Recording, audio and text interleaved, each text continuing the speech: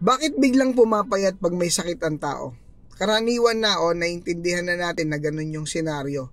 Kapag may sakit ang tao or biglang nang, nangayayat yung tao, ang iniisip kagad natin, may sakit.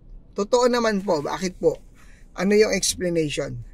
Dahil kapag may sakit ka, hindi properly functioned ang katawan natin, ano yung nangyayari?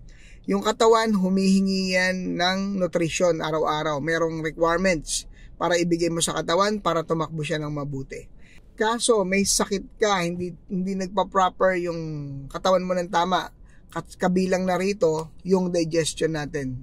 So ano yung mangyayari? Yung katawan natin, yung body parts at saka muscle, yun yung kinakain ng katawan natin mismo para maka-absorb siya. Kaya ano yung mangyayari?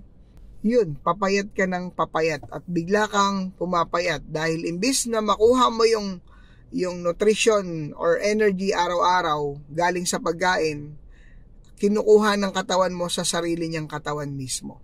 Kaya ang resulta, bigla kang papayat.